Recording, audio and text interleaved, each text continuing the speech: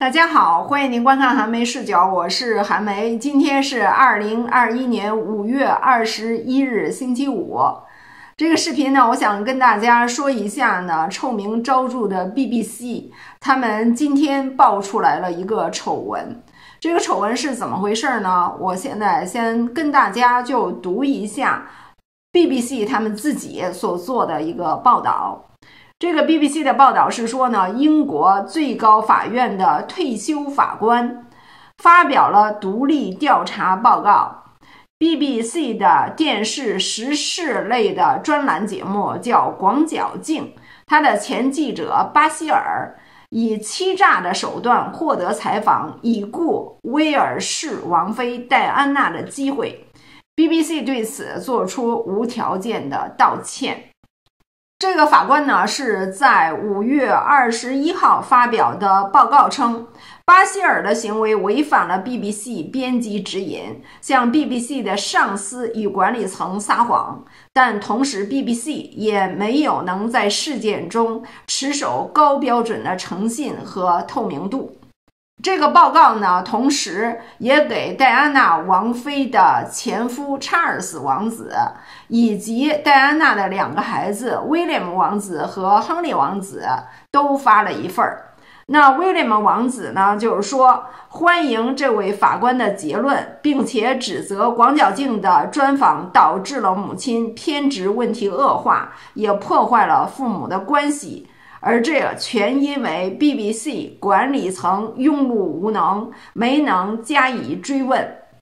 而亨利王子呢，就说其母亲是被连串的不道德的媒体文化所引起来的涟漪效应所伤害。英国的文化大臣表示说，政府应将思考是否需要进一步的改变 BBC。现任的大法官也说。事件是否牵涉到刑事犯罪成分，应该由警察及执法当局来决定。此前曾否决开展刑事调查的警察厅表示，将根据新的报告作出评估。我们从这个来看呢，就是英国有一位退休的大法官，他做了一个独立的调查。他调查的这个事件呢，就是在一九九五年的时候，这很多年前了。观众朋友当中呢，有的人可能还没出生呢。那在一九九五年的时候呢，BBC 有一个记者叫巴希尔，巴希尔当时采访了戴安娜王妃。那这个专访当时引起来了很大的轰动。因为它牵扯到了王妃的婚姻状况以及王室的一些矛盾纠葛，之后呢，就引起来了全世界的一个反响。那很多的媒体就毫无疑问对王菲的私生活就产生了强烈的兴趣。我们就知道呢，后来王菲和查尔斯就离婚了。离婚之后，王菲又有了新的男朋友。有一天，就一帮记者来追着王菲和她的男朋友。那王菲呢，和她的男朋友为了躲避这些记者，在一个隧道里面撞了墙，结果造成了惨剧。那当时的这两个王子，威廉姆和亨利王子呢，他们两个都还很小。很显然会给他们两个造成心理上很大的创伤。BBC 呢，在今天还发表了另外的一篇报道，这一篇报道的题目是这样的：分析威廉哈里兄弟的强烈回应。这篇报道是这么说的：威廉王子所表达的情感并不夸张，这不光是关于巴希尔，而是关于 BBC 整体，也就是他所认为完全无力调查事件，甚至于选择隐瞒不光彩事件的这家机构。要注意的是，没有人说到此为止，也没有人说这个事件年代久远。他明确地指责 BBC 把父母推向离婚，也在随后导致其母亲身亡的事件上扮演了一定的角色。哈利王子也发表了声明，没那么怒发冲冠，没那么指名道姓，倒是正如他一向所说，指出是一种剥削与不道德操作文化导致事件。无疑，过去是哈里对媒体怒目而视，威廉则显得既往不咎。如今，这位第二顺位的王位继承人以肺腑之言猛烈抨击 BBC，似乎说明他所受的伤害有多深，有多么的沮丧。没错了，就是像我刚才所说的。因为 BBC 做了这样一个报道，就把全世界媒体的目光引向了王菲，同时呢，也引向了皇室。那之后一连串的事件就是查尔斯王子和戴安娜王妃离婚，后来王妃撞车身亡。现在看来呢，这一切都是源自于 BBC 的一个非常不道德的一个做法。这个不道德的做法呢，就是这位专访的记者，他叫巴希尔。巴希尔当时他为了采访这个王菲，他就伪造了一些证据，主要就是呢，他伪造了银行的交易记录。他拿着这个银行的交易记录去找了戴安娜王妃的弟弟，说：“你看这个交易记录呢，就是皇室里面。”给某一些人钱，让这些人呢来监视王菲，那还有其他的一些假证，这个证据呢就导致了戴安娜王妃的弟弟就决定说，应该让戴安娜王妃走到前台，应该来公开说出来。戴安娜王妃和查尔斯王子他们之间的这个感情纠葛，戴安娜王妃受了什么样的委屈？现在呢，皇室竟然还派人来监视她。实际上没有这回事儿，没有用钱收买人来监视戴安娜王妃，没有这回事儿。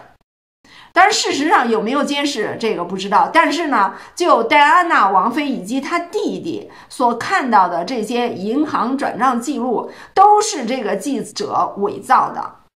那这个专访出来之后呢，这个记者还获得了很多的奖项，都成为了一个著名的记者，大腕记者。那现在这个丑闻出来了。BBC 以及这个记者出来向公众公开道歉，向王室道歉，向查尔斯王子、向戴安娜王妃的两个孩子，也就是威廉王子和哈利王子，向他们两个道歉。可是呢，人死不能复活，事情发生了就没有办法再挽回。从这个报道上来看呢，当时这个专访出来以后，里面有很多令人怀疑的一些章节。那当时 BBC 呢，应该去深究，应该去追查，应该去审查这个专访到底有问题没问题。但是呢，BBC 并没有这么做。那这个退休的法官，他所做的这个调查是一个独立的调查。如果这个法官不来做调查的话，这件事情不会水落石出，这个真相不会大白于天下，人们也不会知道 BBC 这么的纵容他的记者做这样的伤天害理的事情，造成了这么严重的后果。从这个报道上来看呢，曾经还有人指出来，可能英国的警方应该来调查这件事情，但是英国的警方当时是拒绝的。现在英国的警方说，看到了这个退休法官的这个报告，他们认为应该对这个案件进行重新调查。好，对于我们中国人来说，这件事情本身对于我们来说呢，可能没有意义，可能我们也并不是特别的关心。但是呢，我们中国人会特别的关心，是因为 BBC 呢一直都是恶贯满盈，进行这些恶劣的操作，他们也没少来坑害中国。BBC 近来做了好多的报道来伤害中国，那现在呢，搞得全世界搞得沸沸扬扬的中国什么强迫劳动啊、系统性强奸呀，还有种族灭绝呀，这些世纪谎言，我们中国人知道这都是世纪谎言，可是世界上呢，有些人就会相信，有些人就会利用。就跟王菲的这件事情一样，在当年一九九五年的时候，广大的观众以及读者怎么会知道这个专访是这样发生的呢？是由 BBC 造假产生的呢？皇室都想不到，整个的皇室就被 BBC 的一个记者操弄了。可是现在呢，整个世界都被 BBC 操弄了。BBC 伪造事实，造谣中国强迫劳动这件事情也有可能造成很大的后果。其实现在已经给中国以及中国人民造成了很大的后果，他已经是欺骗了一些善良的人们，同时也给那些别有用心的政客以及政府提供了工具以及武器。不是吗？现在美国、英国、欧盟、加拿大、澳大利亚，他们国会里面的那些议员，就利用 BBC 造的这些谣，对中国进行恶意的定性，对中国进行制裁，向全世界进行推波助澜和宣扬。这件事情已经给中国造成很大的伤害。借口并不存在的强迫劳动和种族灭绝，拒绝中国新疆的棉花，拒绝中国新疆一切的产品，拒绝所有的雇佣新疆人企业的产品，已经造成了中国经贸方面的损失，也造成了中国一些新疆人失业。再这样发展下去，如果新疆人失业，没有饭吃，有可能会造成中国的骚乱。不过，这就是美国以及西方他们希望发生的。轻了，中国有可能会发生骚乱，发生内乱；严重了，也有可能会发生世界大战。它的后果是不堪设想的。假如说悲剧因为 BBC 的。这些操作而发生的话，就算是将来又出来一个人，出来一个英国的退休法官进行独立的调查，调查出来是 BBC 的记者的黑操作，那到那时候悲剧都发生了，就跟戴安娜王妃失去生命一样，无可挽回。我看到 BBC 在道歉的时候说。现在的 BBC 和当时的 BBC 已经不一样了，可是真的是这样的吗？我认为现在的 BBC 比那会儿的 BBC 是更加的不道德。